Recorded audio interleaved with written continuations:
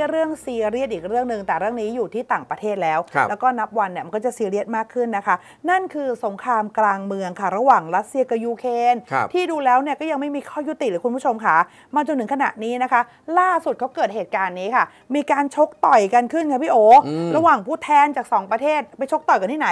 ในงานประชุมเลยจ้าใช่สมัชชารัฐสภาแห่งความร่วมมือทางเศรษฐกิจทวิตของที่ทะเลดำนะคะครับซึ่งเรื่องนี้แน่นอนค่ะ น้องโปรเช่ของเราไม่พลาดจะนำข่าวสารดีๆนะคะให้คุณผู้ชมได้ติดตามค่ะครับไปติดตามเรื่องนี้จากคุณชวัญญาค่ะครับ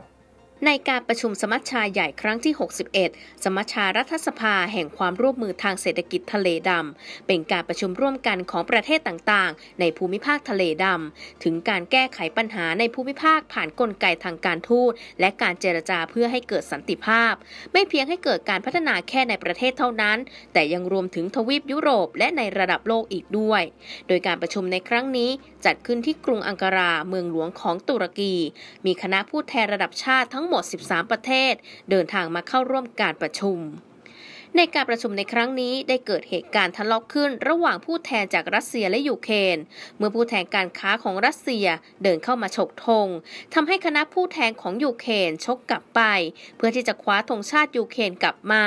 จนทำให้เกิดความรุนแรงขึ้น